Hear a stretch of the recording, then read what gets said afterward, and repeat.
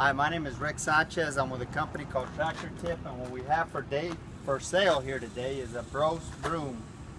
This is an RJ300 uh, four-wheel broom. It's got an eight-foot uh, an eight-foot broom. It's called an eight-foot broom. Um, we're going to talk about the mechanics and the operating specs, and we'll run it. Uh, it's a good running broom.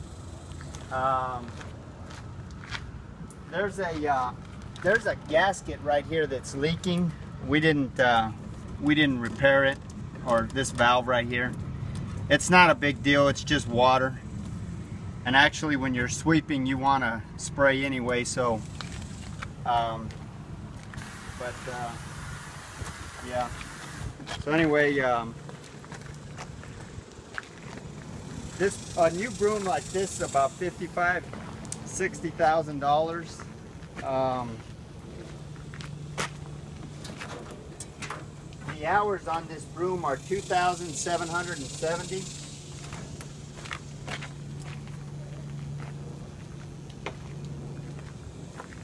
As far as manufacturers go, uh, Broce is pretty ubiquitous out there. We, uh, they're probably the number one or number two seller of, uh, you know, highway construction brooms. Um, the weight of this broom is, is 5,000 pounds. The widest point are the ends of this uh, carriage right here, which are 9 foot 6 inches. The tallest point is the top of that smokestack right there at 9 foot 6 inches. If you take that little smokestack off, the top, tallest point would be the top of that cab for shipping purposes and it would be 8 foot 6 inches. The transportation length from front to back is 14 foot 6 inches. All of the hydraulics operate on this machine as they should. Uh, there's no leaks other than this uh, water valve leak right here that I mentioned, which in my opinion is, is really a non-issue. Um,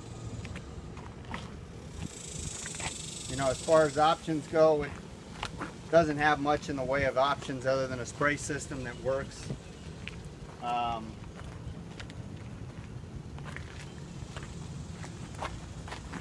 these are typically two-wheel drives. This is a two-wheel drive unit.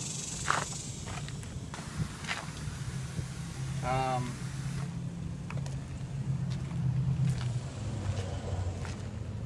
as far as the engine goes, this is a uh, 75 horsepower John Deere engine. It's mechanically sound. Everything works. Everything on this machine works. Uh, again, there's no leaks. Top speed on this machine is about 20 miles an hour. Um, the tires are about 50%. There's no cuts on any of the tires.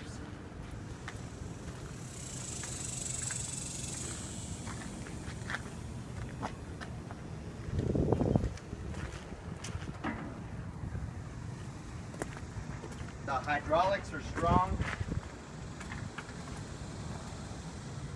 There's no cracks or wells.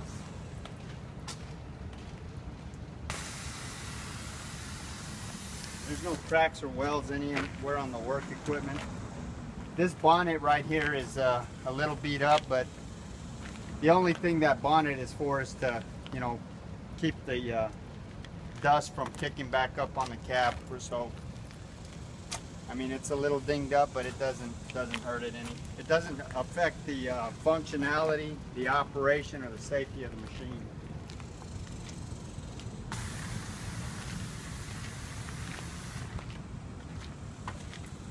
So, the bristles on this machine are 100%. Uh, we uh, we just uh, replaced them, as, as you can see over here. Actually, we started, uh, we sweep this yard off with the broom. You can see where we were using it earlier. We get, uh, we get some runoff here and use this broom to sweep the yard. So uh, we're gonna run it in the next clip.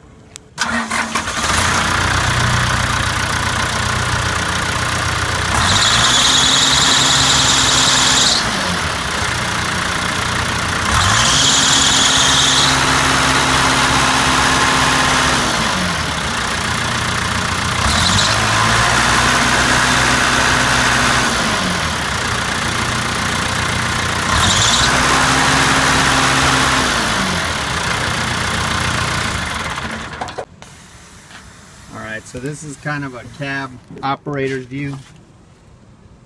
This is a seat. This is your forward and reverse pedal. It's hydrostatic, obviously. This is your throttle control. This is this is the up down on your uh, bonnet or your broom actually. Uh, this is the articulation of the broom and this is the spinning of the broom. So all of the gauges with the exception of this uh, speedometer gauge work. I'll show you that here in just a second.